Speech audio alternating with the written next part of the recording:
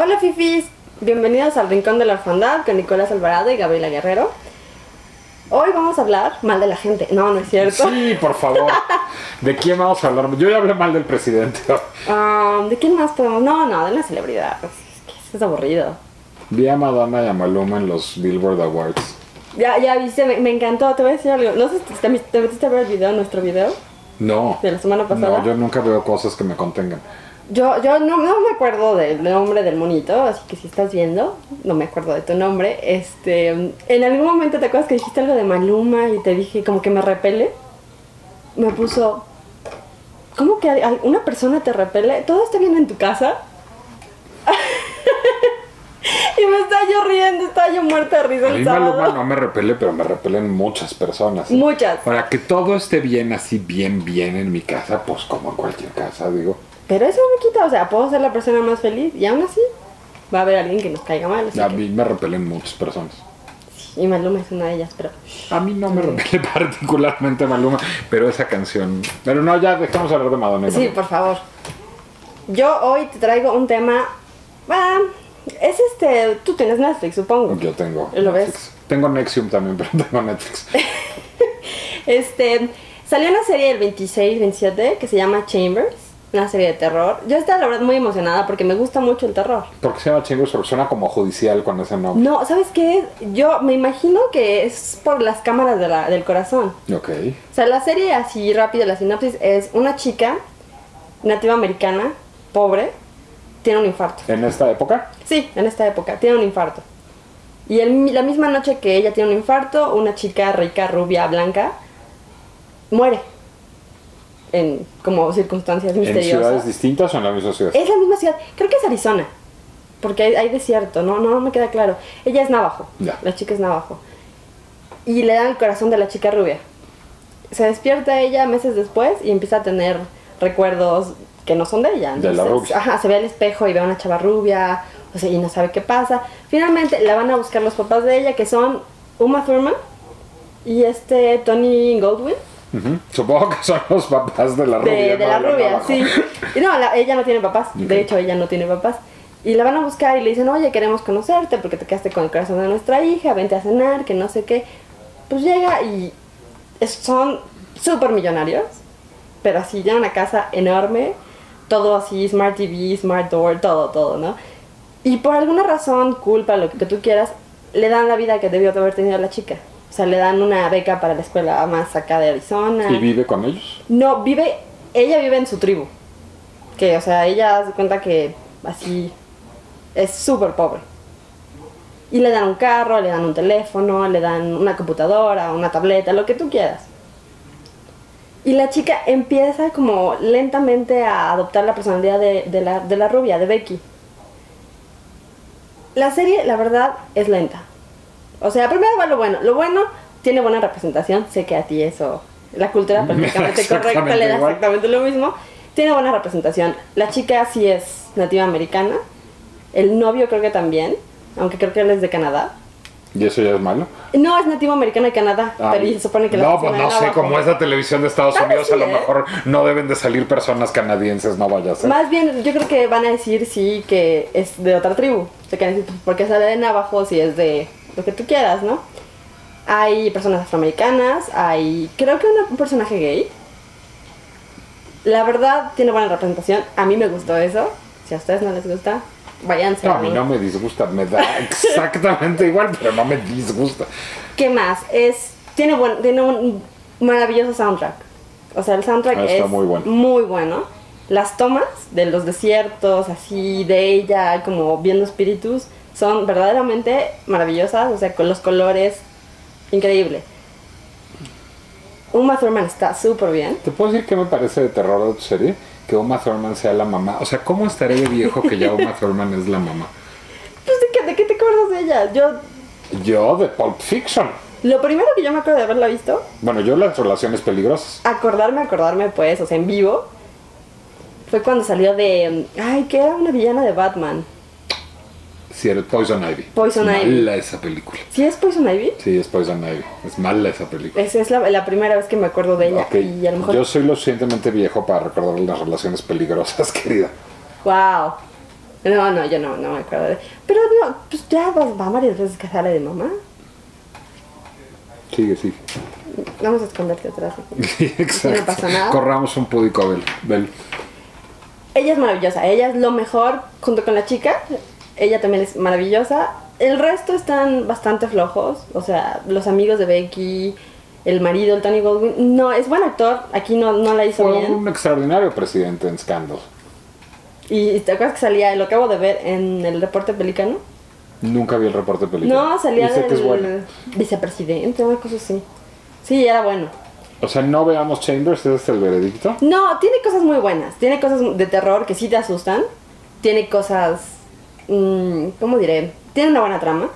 O sea, la trama de, de qué le pasó a Becky. Ese es el misterio detrás de todo. ¿Qué le pasó a Becky? ¿Cómo se murió Becky? Porque ella empieza a tener recuerdos, o sea, de, de cosas que vio. Suena un poco Twin Peaks. Tiene un poco de, de David Lynch. Y sí, un poco agarra ese, ese tipo de como de lentitud y como que las escenas de pronto te volteas un segundo, pasa algo y dices, ¿qué está pasando? Ya, ya perdí como completamente la onda de lo que pasa. Las cosas malas es tan lenta que no, no, lo puedes- o sea, no puedes hacer binge watching. O sea, una hora, 10 capítulos y la gente no hace más que sufrir. Sufre. Es y como la vida misma. Pero al menos la vida misma tiene como cosas o cosas y te hace reír. Esta no tiene. Esta es la chica sufriendo, la mamá sufriendo, los amigos sufriendo. Entonces las escenas son gente llorando y sufriendo y nunca acaban.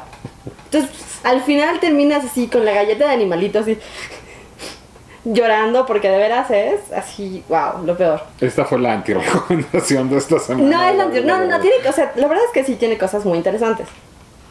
Pero sí recomiendo más bien no hagan binge watching. O sea, vean un capítulo al día, O al mes. a través de 10 días. Es, o sea, hay series que uno no puede ver así, ¿no? La serie esta, ¿cómo se llama? La de Black Mirror. No. Ah, yo puedo hacer binge watching de Black Mirror. ¿En serio? Sí. Yo no puedo. Yo solamente puedo ver un episodio. ¿Qué onda? Qué espíritu sensible y delicado. Soy, sí, pues es que, es que soy millennial. Exacto. Bueno, yo, este, yo desde la masculinidad tóxica que me caracteriza, te voy a representar, a, a representar qué buen lapso, a recomendar una película que tiene, seguramente dirás que la peor representación de la historia este, de la humanidad y los peores estereotipos étnicos de la historia de la humanidad, pero que está sorprendentemente bien, que es el complot mongol. ¿Tú leíste el complot mongol de Rafael Bernal? Yo lo leí, sí. Bueno, seguramente te parece de, de- una incorrección política desaforada. ¿Sabes? Las cosas no existen en el vacío. No me molesta. sea, ¿te parece ajá. que en su contexto Sí, en el temporal? contexto funciona. que es una novela de los años 50, 60, digamos, muy divertida. Es la única gran novela negra mexicana. O sea, es el único gran ejercicio de novela detectivesca que se hizo en México fue el complot mongol. Y ahora Sebastián Del Amo este, hace la adaptación cinematográfica. A mí la película previa de Sebastián Del Amo, que es Cantinflas, no me gusta nada. ¿La viste? Sí. Pues es estéticamente muy bonito, o sea, tiene buena foto y buen diseño de producción. La película narrativamente es malísima. Es lenta. La- la- lo que pasa con el complot mongol es que logra hacer una buena adaptación populachera de la novela de Rafael Bernal. Y cuando digo populachera es, la novela es en gran medida una novela, pues digamos, de monólogos interiores joyceanos, el complot mongol, que es muy difícil traducir al cine. Entonces Sí. hace una anécdota mucho más sencilla y mucho menos compleja psicológica y políticamente, pero con una enorme eficiencia. El diseño de producción, igual que en Cantinflas, es hermosísimo. O sea, realmente, o sea, la foto es muy buena, el vestuario es muy bueno, el diseño de producción es muy bueno, la recreación del centro histórico en los años 60 es verdaderamente conmovedora. Las actuaciones son muy buenas y ahí va una sorpresa, una de las cuales es la de Eugenio Derbez, Eso ya me lo había dicho. que no está en... Yo no soporto a Eugenio Derbez, no está en el papel de Eugenio Derbez. Es, es, es serio, ¿no? Es, es una... No, es una actuación cómica, pero de actor cómico de cine. No, no digamos con todos los tics y este, cosas, los manierismos de Eugenio Derbez, sino está esforzándose por construir un personaje y con muy buen éxito. Damián Alcázar está extraordinario. Eh, y Bárbara Mori, voy a usar el adjetivo que va a molestar a Gabriela Guerrero, justamente, porque el personaje mismo lo representa y molestaría mucho a Gabriela Guerrero. Bárbara Mori está deliciosa. Es verdad, me molesta, tenías razón. En el, en el papel de, y me voy a poner peor, en el papel de una chinita. ¿Por qué? Porque no, o sea, no, no sale de una mujer china, sale de una chinita, o sea, de una caricatura de mujer china como las entendía. Bernal, y está como debe estar una chinita, deliciosa. Bárbara Mori, en serio. Bárbara Mori ¿Me juras? te- Bárbara Mori Es de Rubí, Martito. ¿no? Perdón. Rubí. Es Rubí. Yo no sé, Porque es a ver, yo no tenía noticia de que Bárbara Mori actuara. No solo actúa, sino está deliciosa. Te voy a decir algo. Yo vi una película de ella que la hace de treintona. Que. ¿Y era treintona o ya estaba? No, pues hace, salió hace dos años. Aquí No sale sé como de veinteañera alta, yo creo. Bárbara Mori debe ser de mi edad, debe tener cuarenta y pico. Y la película era buena. Me sorprendió. Bárbara Mori me- está muy bien. Ahora, la- el papel es un estereotipo andante. Pero se supone que lo sea, ¿no? O sea, la verdad es que la novela es. Es una novela de es- estereotipos. No es, no es nueva, o sea. y sale cual, casi cualquier actor de casi, o sea, salen todos los actores de el teatro independiente, el teatro del estado, el teatro comercial, el cine, las telenovelas o los comerciales que ustedes imaginen. Sale sale desde Rodrigo Murray hasta Dobrina Cristeva hasta Chabelo. No, el personaje principal es Damián Alcázar, que está espléndido, pero Damián Alcázar siempre está espléndido. Él es bueno, él es muy bueno.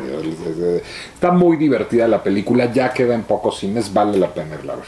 ¿Es larga? Debe durar dos horas, digamos, este, tal cual. O sea, no, no, no más. Mira tú. Se va rápido. Estaba lleno el cine el día que fui, cosa que me dio muchísimo gusto. Ahora bien, ya no está en Cinemex, ya solo está en Cinepolis. Sí, no, de hecho sí, vi, vi que ya no está en Cinemex. Sí, pero este, vale la pena ir a ver. Y bueno, si pueden acercarse a la novela, no- la novela sí es una gozada. O sea, es de, es de reírse mucho en voz alta. Eh, Es de veras de las novelas más divertidas de la literatura mexicana. Pero es verdad, no, no pueden leer, no pueden ver esta película ni leer esta novela en mood millennial. Ni nada. Tiene que ser mood contexto. Mood masculinidad tóxica. Mood, mood Nicolás. Exacto, o sea, masculinidad tóxica. Masculinidad medio tóxica. Solamente medio. Conozco gente peor, pero no voy a, no voy a nombrar nombres Uy, yo conozco gente peor hasta que está cerca de este espacio. en este momento. No. Ay, qué maldad tan grande. Bueno, No, no es cierto. vámonos, que si no nos van a quitar nuestro nuestros privilegios, nuestro domingo y nos van a dejar de prestar el coche. Sí, ¿qué onda? Este, vayan a ver el complot mongol. Puede que vean Chambers, ya nos dirán. Gracias. Y lean el complot. Sí.